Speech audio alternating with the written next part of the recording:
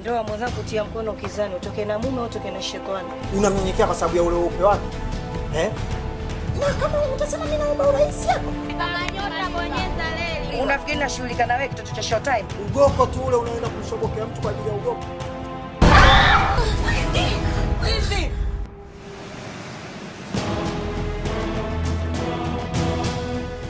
Ni nyumba na la ya nyumba choo. Mimi sikuadi na kushangaa wewe kuadi wa mkeo.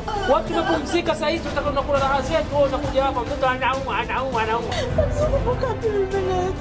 Yule mwenzangu ana maradhi. Unaona ule mwembamba wa ukimwi. Yanachachua.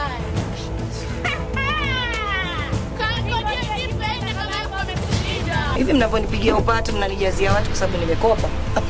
Afadhali ningekuwa nimekunya nje.